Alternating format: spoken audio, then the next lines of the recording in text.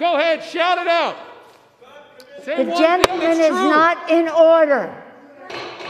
There'll be order in the House. Madam Speaker, I, I came here tonight prepared to talk about the place I represent and how well the Democratic and Republican county officials ran our election. I wanted to point out that in my home county of Allegheny County, in the place they were counting the votes, there were 31 video cameras. 31 in the same place, just showing people counting votes, every single one of them on paper with representatives from both campaigns watching. I wanted to point out to all these great lovers and supporters of the Pennsylvania legislature that it was the Republican Pennsylvania legislature that passed a Republican bill that they all voted for and supported that set up the system under which we just ran the election and that the reason the president lost was because he was not as popular as other Republicans in our state. He got fewer votes than all of them. I wanted to lay out all this evidence, Madam Speaker, because I thought it was a sign of respect for my colleagues, for all the Americans out there who don't know who to trust. I was raised on that. I was raised on that respect, which makes this a hard speech for me to give.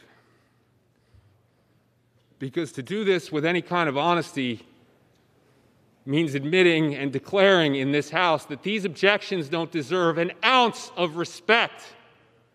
Not an ounce. A woman died out there tonight, and you're making these objections. Let's be clear about what happened in this chamber today. Invaders came in for the first time since the War of 1812.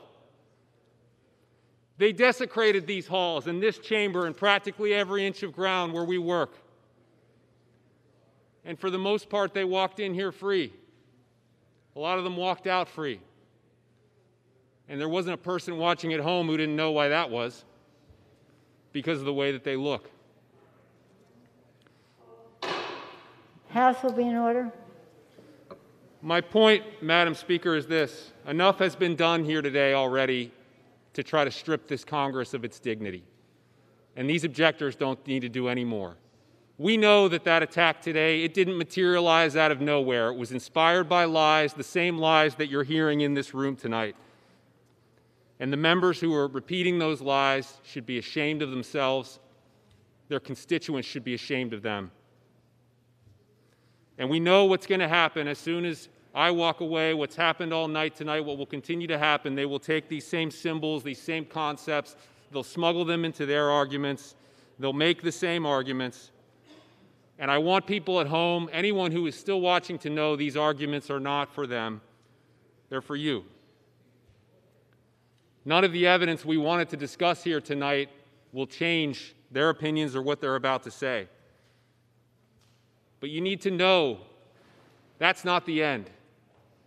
It's not as if there's nothing we can do because of that. And if there was, I don't think this nation would have made it to almost 250 years. The fact is, Madam Speaker, the fact is that at the end of the day, people. The gentleman will say his point of order. Yes, ma'am. Point of order. The gentleman said that there were lies on this floor here today looking over this direction, I ask that those words be taken down. We may have a disagreement of, on, a, on matters, but Mr. Rand, it's not timely. This side of the No, the gentleman's name was not timely. You didn't uh, register an, an appropriate time. The gentleman will proceed. Thank you, Madam Speaker. Madam Speaker, the fact is that at the end of the day. Yeah, look, you, Look, talk, you sad, say that about true. me every single day. So the truth just hurts. Hold your tongue. The gentleman will proceed. It hurts. It hurts them, it hurts this country, it hurts all of us. But the fact is that the people have made this country work by not giving in. Go ahead, shout it out. Say the gentleman is not in order. The gentleman will proceed. Gentleman will proceed. One last thing to say, Madam Speaker, and I thank you for your patience. All people need to know, all they need to know tonight, Madam Speaker,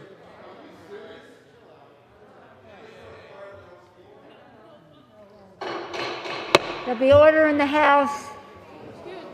There'll be order in the House.